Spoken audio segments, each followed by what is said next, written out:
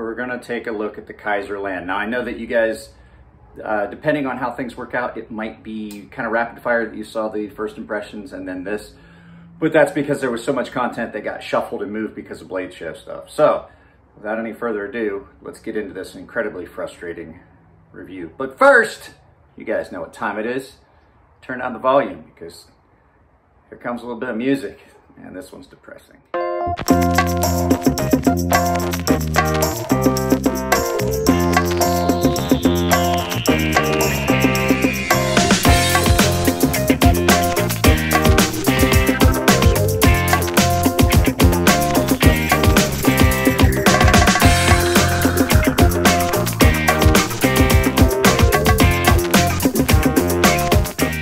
we start talking about this, this is dash cam time. Uh, it's a channel I watch because apparently I don't get enough frustration on the California roads. I have to watch other people have road rage and accidents. So I'm just putting off the inevitable. This is the Kizer Vanguard Lan. Now this is an Azo Ray knife design, Azo and Ray knife design, and the, there's nothing wrong with the knife itself.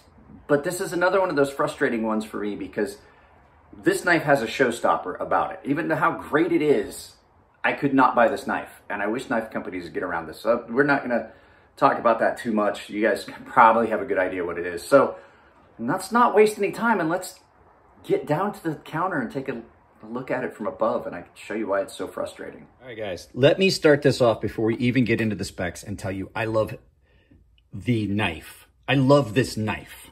I like the handles. I like the blade. Love the blade shape. I like the way it cuts.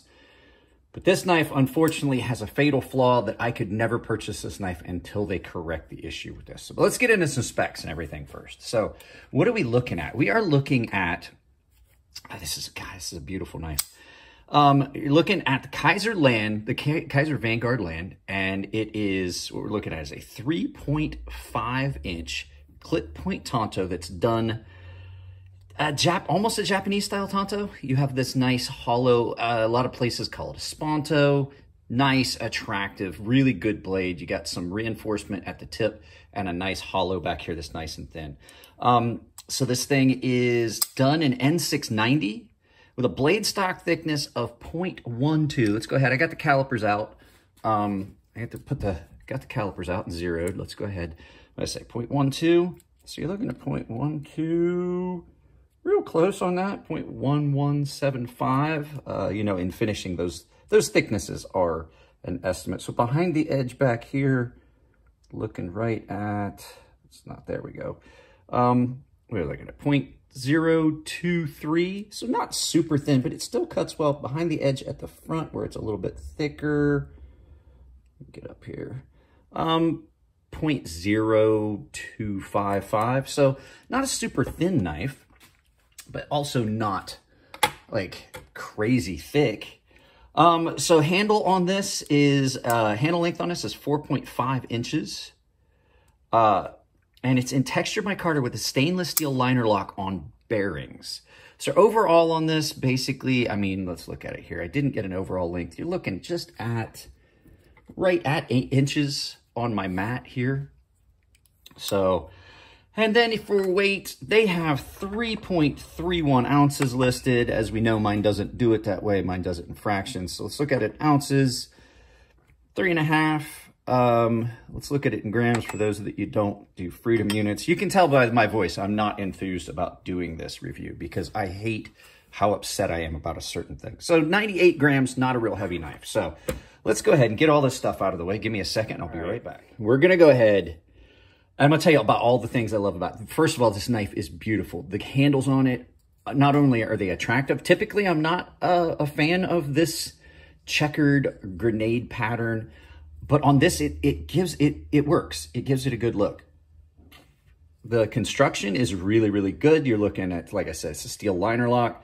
Uh, runs on bearings. Action on this is super good. The Kizer action these days, some of these knives that are coming from Kizer, just amazing. Um, all the hardware is fairly recessed down in. You don't have any real hot spots on the handles themselves. Uh, blade, the blade on this, nice, robust blade, clip point, Spanto with the combination hollow and flat, uh, done by, as you can see, it is, it's an Azo and Ray design, nice looking logo on it, done in N690 steel. I don't dislike N690 steel. I said, got the fuller here. So everything about this knife, super attractive. It cuts well. It's pretty functional. It's the action on it's amazing. But then you get into the one thing about it that I can't stand. Like I honestly can't stand it. Uh, Kizer went ahead and they did this adjustable clip where you have three different positions so you can move it forward and back. But the problem is that that's the pocket clip. Now, a lot of people are, oh, well, you just don't like deep carry pocket clips. Not true. In comparison, deep carry pocket clip. I love this. Super comfortable. I can carry it forward. Not a hot spot. But do you see the main difference? Here, let's take a look at this. This is a knife that I have not done the full first, uh, first impressions on yet, but I have had it in my hand. And I'm going to tell you, I don't dislike the pocket clip on this, uh, this Civivi Keen Natter. Uh, nice pocket clip. Other pocket clips. This one, fairly tall pocket clip, not a deep carry, but fairly tall. Doesn't bother me at all. Do you see the mass difference? The big difference is this is a knock at your door and saying, hey, neighbor, come in. You want to talk? This is the video of her. I'm gonna, I'm gonna drop, a, I'm gonna drop, a, I'm gonna drop one in here. I don't do it very often. This is a fucking piece of shit pocket clip. So this is like your friends coming over and hanging out for a little bit. This is a home invasion. There is no transition on this. It's like having this is the worst pocket clip I've handled in a very long time. I mean, even Benchmade's pocket clips that are this bad are not as uncomfortable as this. They're close. Don't get me wrong, they're close. I'm not a big fan of that pocket clip, but where it sits in this knife, not a problem. The fact that these companies will go to the trouble of making these beautiful designs for, and then be like, eh, screw it, just throw a pocket clip on. Seriously, horrible pocket clip. I could not buy this knife. I would never carry it. I would never carry this knife, which upsets me because this is a relatively good knife. I really like this knife. It's so attractive. It's got a blade shape that I like. The handles aren't bad. I carry, I took the pocket clip off this and carried it without a pocket clip. So the thing that irritates me is to carry this knife, I basically would have to modify how I carry it for me, for it to be a knife for me. I would have to take the pocket clip off, which means that I would have to use a slip. Because if you put this down in your pocket regular, it's just going to move around and fall over. The slip gives it a little bit of width. It keeps it from sliding sideways. Instead of sitting like this, then it drops like this. Could not carry this. One item on this knife has ruined this knife for me, and it really upsets me because I like this knife. So let's do a couple size comparisons for those of you guys that don't care about the pocket clip. We'll go ahead and look here. Here is that Kizer Grazioso. Um, not, not a big difference in, in size. Um, but for knives that you guys probably do know well, this is about just almost one for one, the same size as my Benchmade uh, 940. And another knife that everybody should be relatively aware of the size of, the um, Sebenza 21. So just about the same size. If you know the size of those knives, you're looking at about the same. But, yep, not a knife I would put in my collection. I would hazard a guess that there's a lot of people that feel the same as me about how that pocket clip feels. I, I hate it. I hate the fact that this knife is so enjoyable to look at and use without the pocket clip. Now, could I get an aftermarket pocket clip? Possibly, but why should I have to? If companies would take a look at, you can do a deep carry pocket clip. They've already done it. This is another Kizer. This is a deep carry pocket clip that is not uncomfortable. Why? Why, why, why? Why do you guys continue to do this? This makes me want to break things. So there you go, guys. Beautiful knife, completely ruined, given a fatal flaw. I don't want to talk about it anymore. Let's turn this around and do some final thoughts, and I'll try to find something cheerful. Like I said, guys, pocket clip on this is just... I'm kind of breaking my rules. It's a piece of shit. This is possibly one of the worst feeling pocket clips in hand I've handled in a long time. And I wish knife companies would get around the fact that they, they design these great, great knives and then they put a pocket clip on it that for a lot of people, the comfort level on this would be a showstopper. It is for me because for me, a knife is a tool. And people are like, oh, so what? You're just like, I use my knife probably as much as any other tool in my house. It's probably the most used tool I have.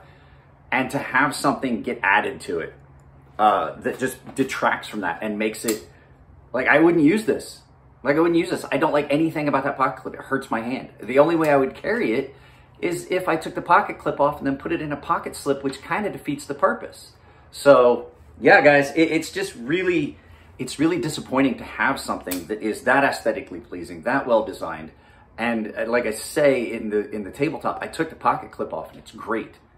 Um, I would have to left hand carry this. I would have to completely change the way I carry this knife to to account for the discomfort that is caused by one of the like just a thoughtless thing. Oh, okay, we'll design a knife, but then let's just we'll just use this. Like that's like that's like buying that's like buying a supercar, like a sports car, like a Lamborghini, and then getting it home and, and painting it with a brush and a roller. So I could go on about how much I hate some pocket clips, and especially on this, which is such an exquisite knife, but I'm not going to. So guys, if you like the videos, give them a thumbs up. If you don't like them, give them a thumbs down, but please try to tell me why I can't change the content if I don't know what you don't like.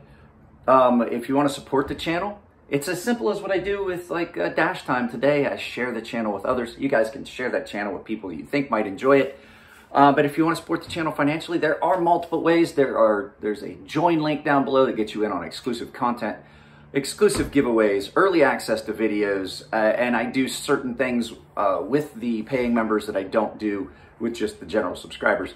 Um, there's other ways to do it as well. I have an Ember Shirt Co. link down below where you can get in and get some of my merch either Ember Shirt Co. or my merch store. There's links below for both of them. They're on the same site.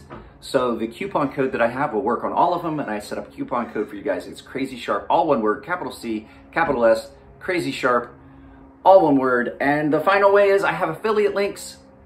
There's affiliate links that'll take you to, to Amazon to get all kinds of stuff that I have listed below, knives, stuff like that. And if you don't see what you're looking for, but you continue shopping, I still get credit for anything you purchase after you use my affiliate link. So that's it, guys. I love you all. Keep it clean in the comments section. It makes it easier to moderate the channel for me and Nico because he's my channel manager.